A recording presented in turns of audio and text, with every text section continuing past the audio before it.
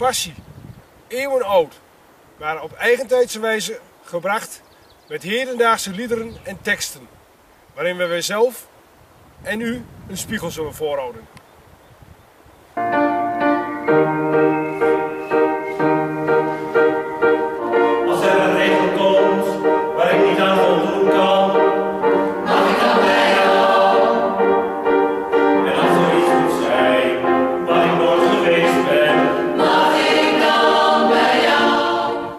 Zomaar een regeltekst uit een nummer waarmee wij in de paastijd van 2016 het passieverhaal vanuit Rietmolen zullen brengen.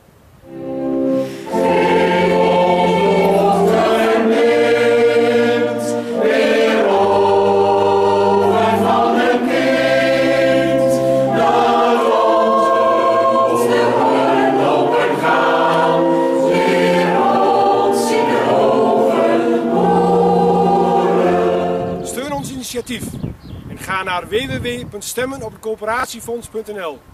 Kies voor de passie in Rietmolen en stem. Alvast bedankt en wellicht tot ziens op Witte Donderdag 2016 in een Reetmolen.